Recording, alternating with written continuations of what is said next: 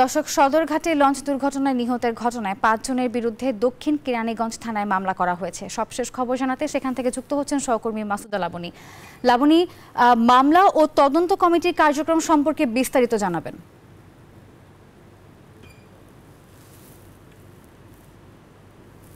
নাফিসা মামলা যেটি হয়েছে, সেটি গতকাল রাতেই হয়েছে এবং আমরা জানি ফারহানের দুজন চালক, একজন ম্যানেজার এবং পাশাপাশি তাসরিফের দুজন চালককে রাতে আটক করা হয়েছিল এবং তাদেরকে আসামি করে, অজ্ঞাতনামা আসামি করে মামলা করা হয়েছে। কাজে আটক পাঁচজনকে গ্রেফতার দেখানো হয়েছে।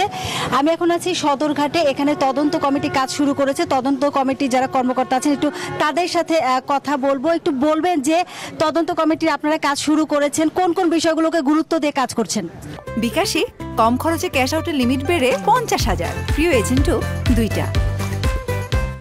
ধন্যবাদ আপনাকে। আমরা আনুষ্ঠানিকভাবে আমরা তদন্ত কমিটি, আমরা আজকে কাজ শুরু করেছি। আমরা সব বিষয়গুলোই আমরা মূলত দেখব এখানে। এখানে প্রথমত, প্রথম পর্যায়ে আমরা দেখব যে উইটনেস কারা। প্রত্যক্ষদর্শী যারা আছে, যেসব যাত্রী আইন শৃঙ্খলা বাহিনীর অন্যান্য সংস্থার যারা আছে তাদের কাছ থেকে আমরা ইন্টারভিউ নেব।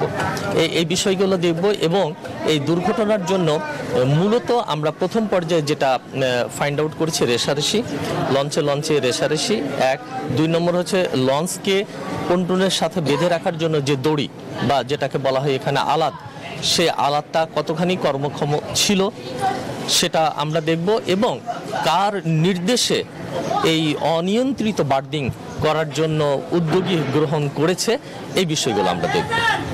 নাফিসা আপনি শুনছিলেন যে কোন কোন বিষয়গুলোকে গুরুত্ব দিয়ে তদন্ত করা হবে এবং আজকে এই যে তদন্ত কমিটি কাজ শুরু করেছে পরবর্তীতে হয়তো বা তাদের যে সুপারিশ বা তদন্তে যে বিষয়গুলো উঠে আসবে সেই বিষয়গুলো তদন্ত রিপোর্টের মাধ্যমে জানানো হবে। নাফিসা লাবণী আপনাকে ধন্যবাদ।